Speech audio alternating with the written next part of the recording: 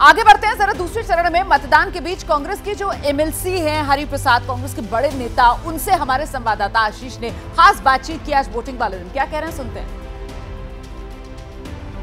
दूसरे चरण में कर्नाटक के 14 सीटों पर मतदान शुरू हो चुका है और मतदान केंद्रों पर अच्छी खासी उत्साह भी देखी जा रही है। लड़ाई यहाँ पर बाइपोलर माना जा रहा है, एक तरफ़ एनडीए है, जिसमें जेडीएस और बीजेपी है, दूसरी तरफ़ कांग्रेस है, कांग्रेस सत्ता में भी है।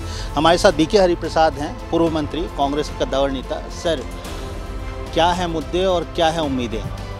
आज जो बहुत बड़ा त्यौहार है कर्नाटक में, आज प्रजातंत्र का बहुत बड़ा त्यौहार है, लोग बाहर आके वोट चलाना है। बहुत मुद्दा जो है आज, जो जो हम लोगों को मौका दिया है पाँच साल में एक सरकार चुनने का, इस देश का, इस राज्य का, इस ज़िले का भविष्य चुनने के लिए बहुत बड़ा त्यौहार है।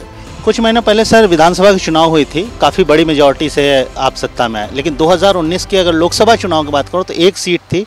अब 2024 का लोकसभा चुनाव है। क्या उम्मीद करती है पार्टी? वो अलग 2019 का अलग चीज़ है। लोगों को गुमराह करना और 40 लोगों का शहादत होना, पुलवामा का, उसके बाद ये सब हुआ था। अभी कोई इसका मौका नहीं है उसको। बहुत कोशिश किया। मज़हब का नाम पे भाषा का नाम पे जात का नाम पे चुनाव करने का मगर टोटल नाकाम हो गया है। इस चुनाव प्रचार के दौरान इस चुनाव में हम सुन रहे हैं रिजर्वेशन धर्म आधारित रिजर्वेशन की बात। आपने मंगलसूत्र का ज़िक्र किया। कर्नाटक में खास तौर पे बीजेपी आक्रामक है कि आप लोगों ने रिलीजन बेस्ड रिजर्वेशन पुश किया। संविधान के खिलाफ जो है वो एक बहाना ढूंढना है।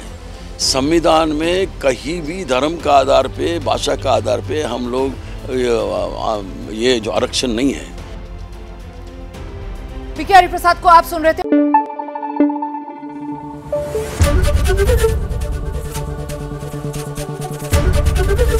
एबीपी न्यूज़ आपको रखे आगे।